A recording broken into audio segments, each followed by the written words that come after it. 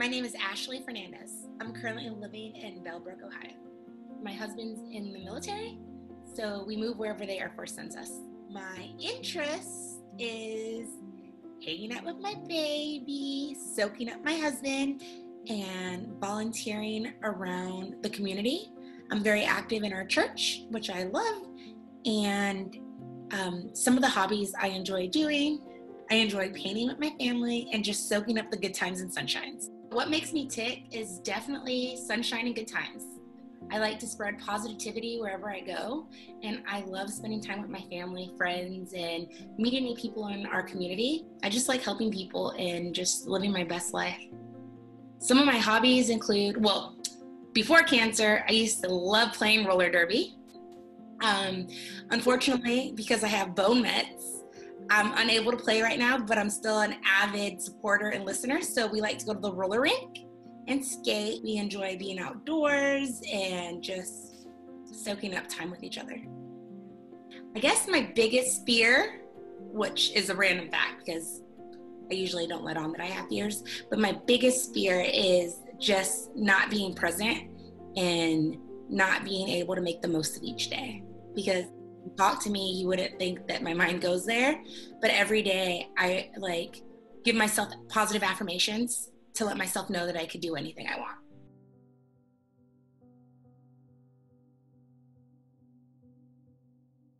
A few years ago, I was diagnosed with metastatic breast cancer after finding a lump on my breast.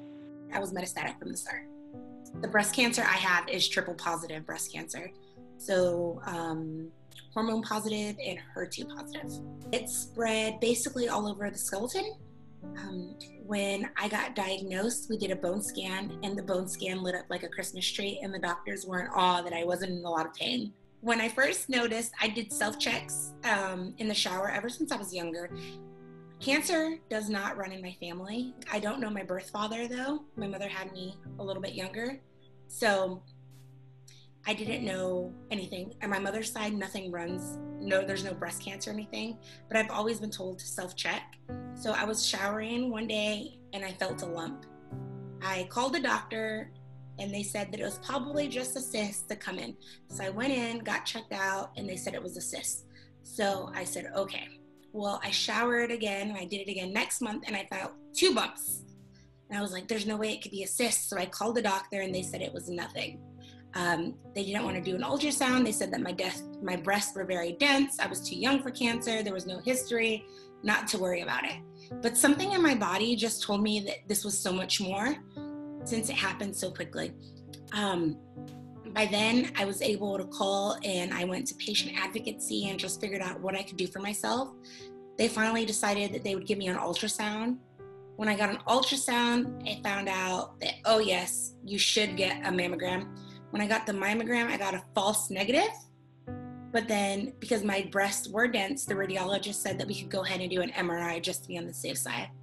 When we did the MRI, they saw that there was numerous cancers on my left breast, like numerous tumors.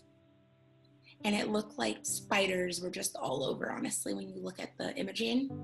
So that was really, really scary especially because I was getting told for two months that there was nothing, and I was basically just making a problem out of nothing and getting more people involved. So that was kind of trying, but that's where my advocacy began like advocating for myself to get better health care and to get treated and to get a diagnosis and to figure out what to do next. And that was in Alaska where we were living then. That's where we were stationed. So when I finally got the MRI, I got the, um, they saw that there were spiders. Well, it looked like spiders. I call it a spider imagery. Spider imagery. Um, I got to go to another, this was really cool. So I didn't have to go to base anymore. I got to go to the breast cancer of Fairbanks the Breast Cancer Center of Fairbanks, and those people were magical. From the time I sat down, she was like, okay, here's what we're gonna do. You have this, this, this, we're gonna go do. You're gonna do an echo to make sure your heart's good. We're gonna do biopsies. Like they had a plan from A to Z, and it was so fabulous to not have to think about anything. They assigned a case manager, and it was just beautiful and easy. The way it came to MBC diagnosis was they hadn't done a bone scan yet, and we were going to do chemo that Tuesday. I had my port signed. Um, I had my port appointment to get placed on Monday, and I had chemo chemo the following Tuesday. I had mentioned that Monday when before the port placement that my right rib was hurting, and the PA was like, "Oh, we need to do a bone scan." She said, "Has it hurt before?" And I was like, "Well, sometimes it gets a little sore, but I am active." And when we did that, it was just showtime. Did the bone scan, and then I got the call to come in the next morning. And that's never a good sign when you get a phone call to come in the next day. So I came in the next morning and I found out that it was metastatic. I didn't really know what that meant because, like I said, usually, well, actually, there is no usually because there's no common grounds with breast cancer. There's no common ground with any cancer. It doesn't discriminate of anything. So, yeah, I got that diagnosis, found out that it was everywhere in my bones.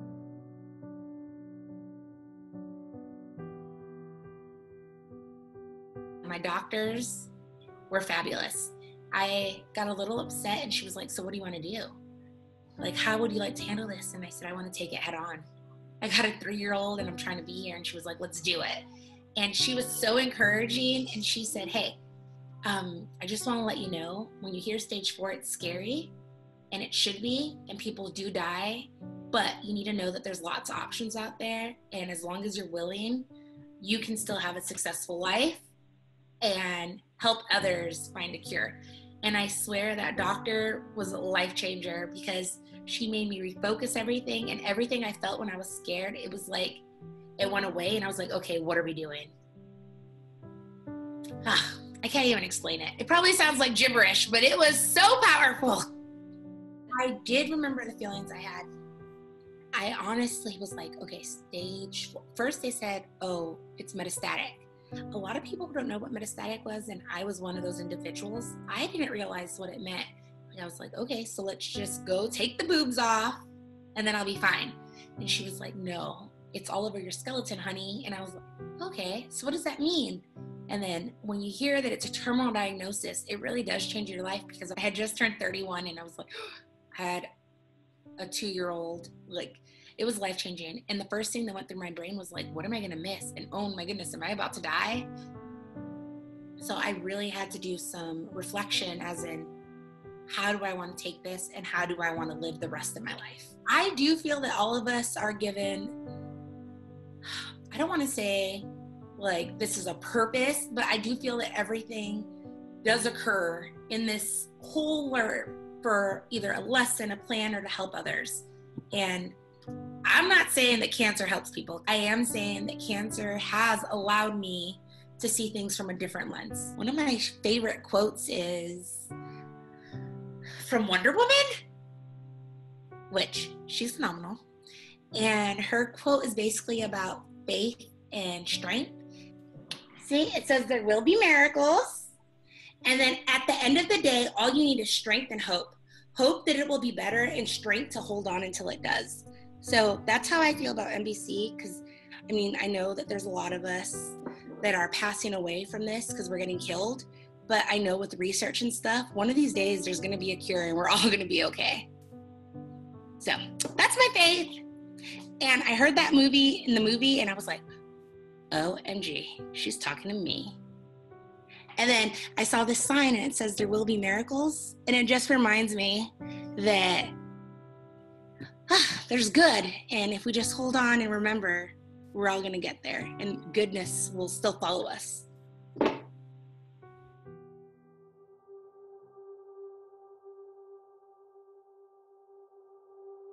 I'm Mexican and African American, so I'm Hispanic and Black. Black women get diagnosed at later stages. Sometimes I sit at home and I watch these commercials. I'm like, what? There's so many young people with cancer, or why is there nobody with curly hair? Where are the rest of us? Like, we're not misrepresented all over.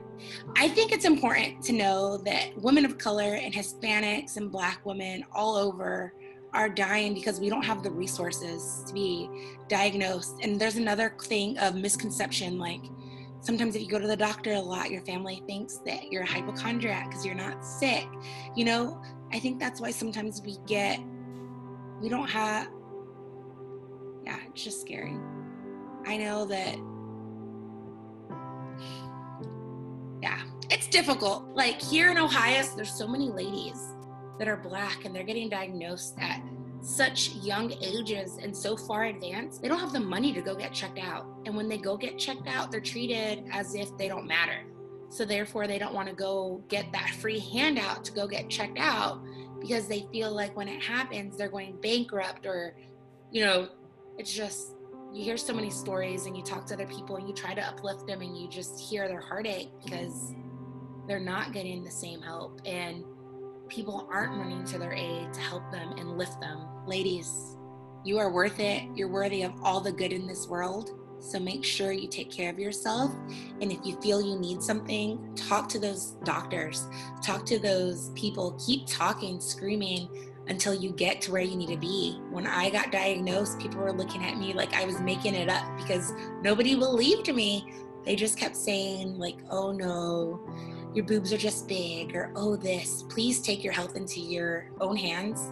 You matter and you're needed in this world. So please, please treat yourself as though you're worthy as well. My doctors and nurses are exceptional with me. Um, but I can see, for an example, I know somebody that doesn't relate. She doesn't. She doesn't think she's a woman. She is a woman and she has breast cancer, but she's looked at differently because of her challenges and her sexual orientation. And she's black. Good thing about being treated in the military base is we don't have to come out of pocket of anything because my husband's serving our great um, nation. So that's one blessing and one thing that we were really, really excited about when I got this diagnosis was first we were like, oh my goodness, cancer is expensive. How are we going to do this? because we were getting seen off base. And then we got moved to Ohio. And here in Ohio, they have the cancer care unit on the base. So financial isn't really a thing right now. And that's a big blessing because I know a lot of people are having to sacrifice other things in order to live. So that's just one thing that I'm very fortunate with. And I've been advocating and writing Congress for letters so that we could get care for all tomorrow actually i'll be working with an organization and we'll be calling taking on the congress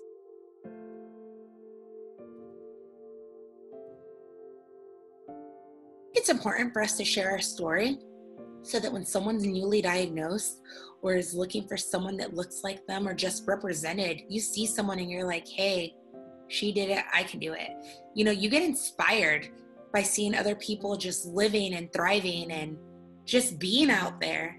So if we're able to help somebody else, please share. You never know when your story is going to help somebody else. So I'd encourage everyone to share. I was thinking peer to peer supports. I was thinking we should do something like that for women of color ethnicity. Because women of color is a big blanket, right? It's a safe blanket. So it consists of like Asians and Island Pacificers, Hispanics, Black ladies. Oh, don't forget our brothers. Because, you know, there's some brothers out there. So you're invited to, brothers. Have you ever been to one of those conferences where you could just go meet and then you see everybody that looks like you? Imagine if you had that in a Zoom call. Like mm, maybe quarterly. It doesn't have to be once a month, like quarterly, just to engage, and invite, and develop. And so other people can see other people and maybe they'll connect with somebody that they don't even know had cancer or they didn't haven't even came across on the Facebook groups. Like I'm on the Facebook groups, but I'm kind of a ghost on those groups. Because sometimes I don't see things the same way that other people that have cancer, that have our diagnosis of our cancer. And it's not that I'm in denial, it's just that I choose to keep my mind in a different space. So if you post on there, sometimes if you're not willing to back up what you have or really, really like boom, boom, boom, lay down the law, I get really nervous posting on those Facebook pages. We're all there to support each other and love each other and just be with each other, which fellowship is so good during this.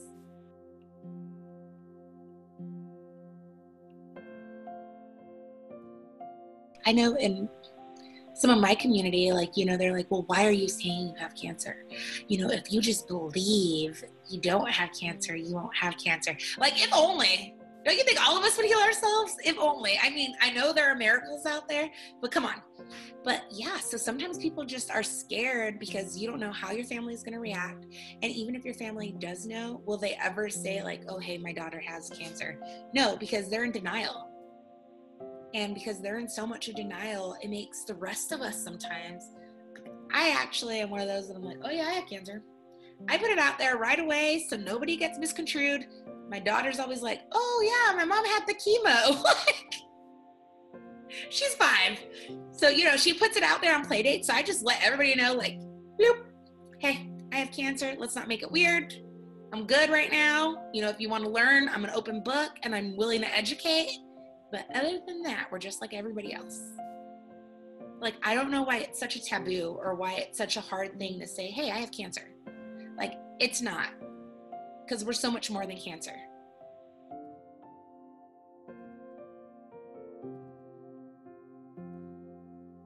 Personally, for me and my family, it's changed us completely. Um, my husband's working from home. My daughter's supposed to be starting kindergarten and she's doing it virtually.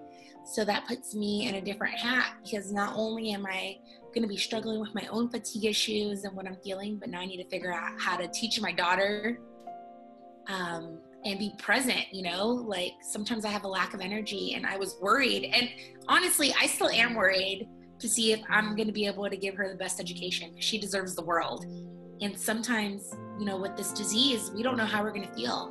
One day you feel great and the next day you're puking your brains out. Like you really don't know what's going to happen day to day. So that's a challenge for my family at right now at the moment just our little girls starting kindergarten she'll be starting virtually and we just need to figure out i mean i know i'm gonna rock it but i gotta figure out how i'm gonna get to that level of rocking it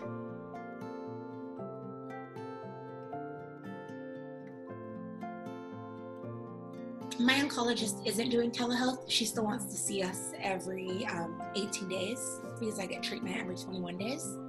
So I'm still seeing her every 18 days. And as far as telehealth goes, I'm only seeing my psychiatrist through palliative care over the phone, and that's phenomenal. They actually just offered us to be able to come back in person, and I'm really enjoying this Zoom telehealth. It's so nice not having to leave your house sometimes. Patients and others, if you don't feel that you're getting the health that you deserve, please advocate for yourself. We're the only ones that can change what's happening um, if you're scared, it's okay to have a level of fear, but don't let it challenge or take away from the medical treatments that you should be receiving or the care you should be getting.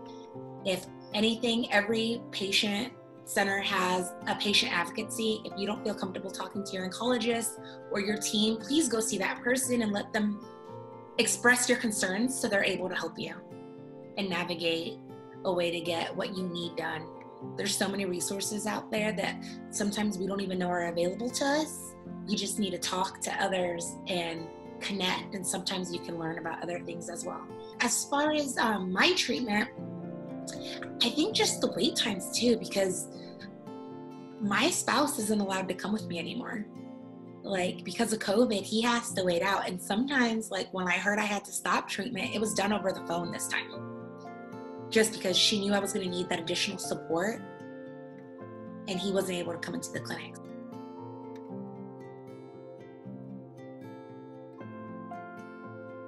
I started counseling because of COVID. I, so it's crazy. I'm 33. I got diagnosed. I had a great job working for the government. You know, we lived here. I was able to transfer in when I moved. During COVID, my whole life changed. I haven't left the house. Well, I started leaving the house just recently, but I wasn't leaving the house since March 12th. It was my last day of work. I actually ended up being retired, medically retired, April 3rd during COVID. So I had to get used to this whole sense of normalcy. And my mental health was okay, but I definitely needed someone to talk these things with that wasn't my spouse. So that's how come I started counseling. And honestly, I don't know why I didn't do it when I first got diagnosed. It's life changing. People, if you're listening and you feel that you need somebody to talk to, I definitely recommend counseling. break the stigma. It's good. I honestly wish someone would have told me that was available to me sooner. And I think I would have took advantage of it. Actually, I know I would have took advantage of it because I didn't even know I had that I had access to that until I finally talked to somebody and I was like, hey, know what? I really could use someone to talk to.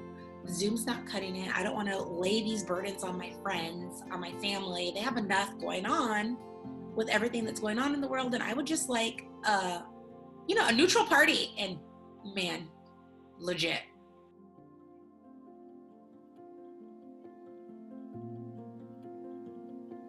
I live in Ohio right now, and I haven't met very many metastatic patients that live in my area. There's a few groups that live in Columbus, which is about an hour and 30 minutes away from me. So I'm in connection with them. And we do FaceTime and we do monthly calls and we do weekly check ins. And it's just a really good community. And it feels nice to have others that know exactly what you're going through and you're able to lift them up if you're doing better or vice versa or just pray for them send them positive vibes like hey sometimes an i'm thinking of you changes the world. Like hey i was thinking of you today and they're like what? It makes me feel so good.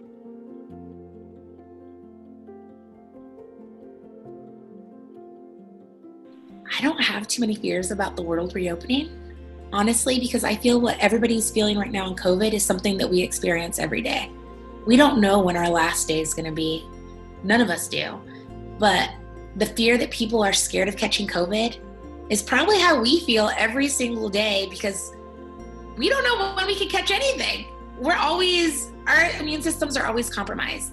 So I guess what I'm going for is kindness. I hope that the world took kindness from this pandemic. They take away kindness for the rest of us that are living with chronic and just diseases, terminal diagnosis, just, you know, kindness is really important. And if you felt this and that fear, just take a moment to remember that that's what of some of us feel every single day of our life. And be kind. We don't know what anybody's going through. That's what I want for the world.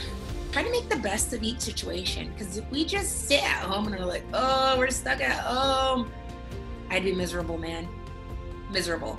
So I've been doing like taking tours of countries on YouTube and trying to make a new meal. And I am not a great cook, so those meals are not coming out good. But I'm trying to get out there and be adventurous and still live and make the most of what we're what we're dealt with.